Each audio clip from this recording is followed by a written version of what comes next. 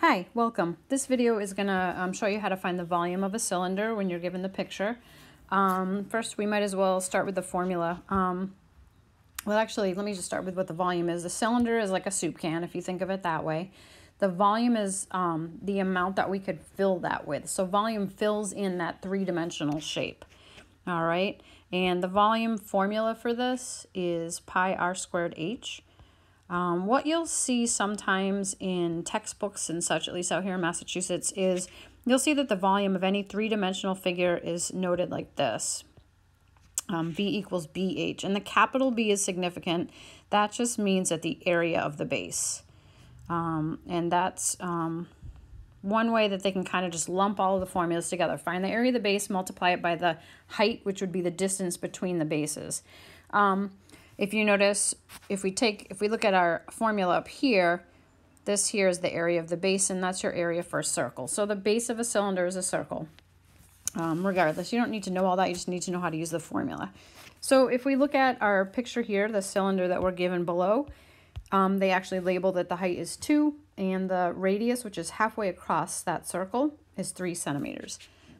So for the volume, it is pi, which we're going to use 3.14 times our radius, which is 3 squared, times h, which is 2. Um, most most classes will let you use a calculator because you're using pi. So um, 3.14 times 3 squared, um, and then times 2. And if you type it in all at once in your calculator, most calculators these days can do the order of operations like any scientific calculator will. Um, your um, TI-83s, phone calculators. I'm not sure if that's always the case. Um, but anyways, you get for an answer 56.52. And for units on volume, since you're filling something up, we're multiplying centimeters times centimeters times centimeters right here. And so our answer will have to be in centimeters cubed. Keep in mind that just because we have centimeters cubed in our answer, we're not cubing any numbers, all right? I used to think that when I was in high school, I would get so confused um, took me a while to kind of figure out what it meant. All right, next problem here. Um, our top one, we have that the height is 10, uh, so that's going to equal height. And uh, now this is not our radius, this is our diameter. It goes all the way across the bottom circle, or the base. So our radius is going to be half of that. So if we do 7 divided by, oh, that's terrible. Let's see if I can undo some of that my typing, my handwriting is not good. We're going to divide by 2, and that's going to give us 3.5.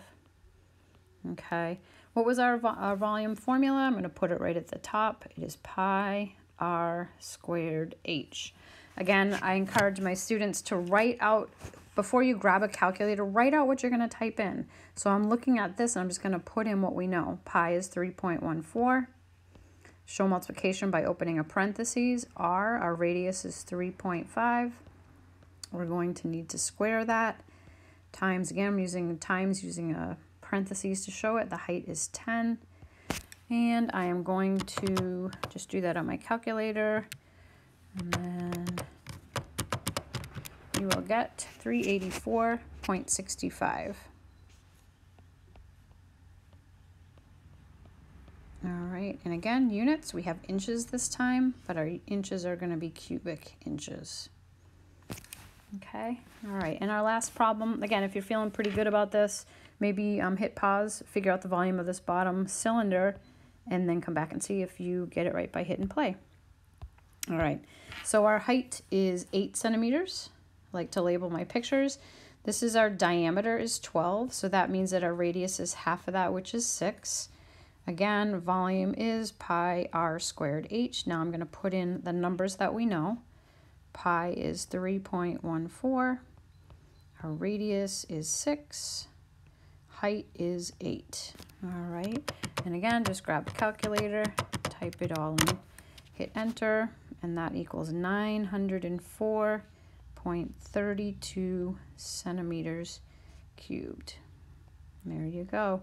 It's a pretty straightforward thing. Um, I think if there were mistakes that I've seen made after years of teaching, it's realizing or forgetting to realize that they give you the diameter and having to find the radius.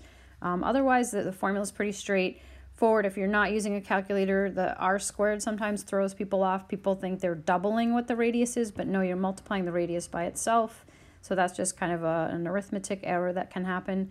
Um, and the only other thing I guess I could say would be mistakes is they forget the units are cubic units. Um, but other than that, I hope that this video has helped and I hope you feel more confident about finding the volume of a cylinder.